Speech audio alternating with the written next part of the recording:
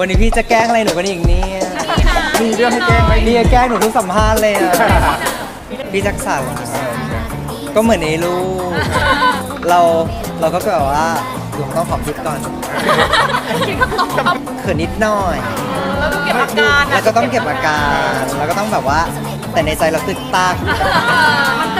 ้งตั้งขนาดไหนพี่พี มันก็ตึกตักนิดนึงนี่แหละครับผมเราไปเราไปทำงานด้วยอะไรอย่างเงี้ยเรารู้สึกว่าแบบเออหลังจากเราอยากให้สเปซของเขาด้วยเราเราในฐานะแฟนคลับเราได้เห็นเขาเราก็ดีใจครับมีการพูดก็ก็มีครับพี่แจ๊คก็เข้ามาถามอะไรอย่างเงี้ยอย่างหนูที่เขาไปเตะฟุตบอลอะไรเงี้ยก็ชวนพี่ไป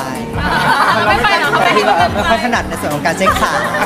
เราก็ไปให้กำลังใจแต่เขาโพสต์แซวว่าอดีตเคยแรงเหมือนตอนที่แบบย้อนไปรับปริญญาเราก็แบบเออห่วงสแตนดี้พอเจอตัวจริงกับ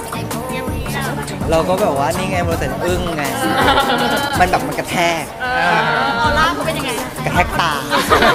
กับคนที่ไปแบบอุ้ยว่ายน้องว่ายน้ำเลยนะมีว่ายน้ำด้วยเหรอใช่ค่ะมีว่ายน้ำไปว่ายน้ำกันด้วยเหรอว่ายน้ำด้วยแจ็คลงขาถอดเสื้อเลยถอดเสื้อไม่แหละครับที่จริงมันก็เป็นเวลาส่วนตัวของพี่แจ็คเขาอะไรอย่างเงี้ยเรารู้สึกว่าเออถ้าถ้าเขาชวนเราไปเราก็ดีใจแล้ว แต่เพื่อเราไม่ว่ายเสียดายนิดนึงแต่รู้ว่าแต่ว่าที่เราไม่ออกไม่เก็บอาการเพราะว่าแบบกินอยู่หรือเปล่าเกรงใจ คนก็เวอร์ไปเวอร์ไปเพราะว่าไปอะพี่